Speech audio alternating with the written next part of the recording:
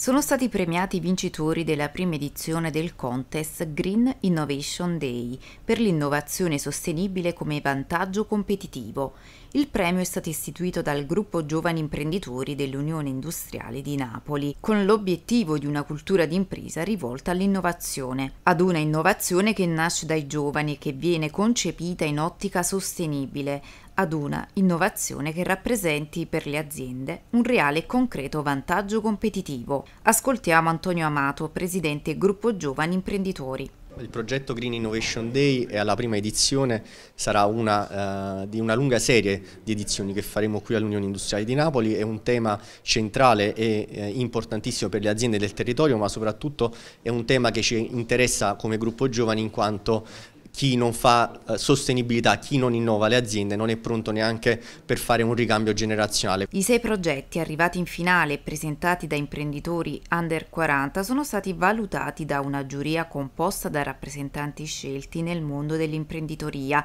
dell'università, della finanza ed esperti di sostenibilità Ascoltiamo il vicepresidente dell'Unione Industriali Napoli, Giancarlo Fimiani. Per noi è molto importante far crescere la cultura, la cultura aziendale, far, far crescere tutto il, il sistema produttivo.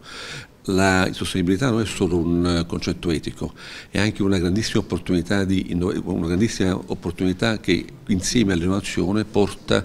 le aziende a vedere un futuro molto più ricco di, di opportunità e crescita.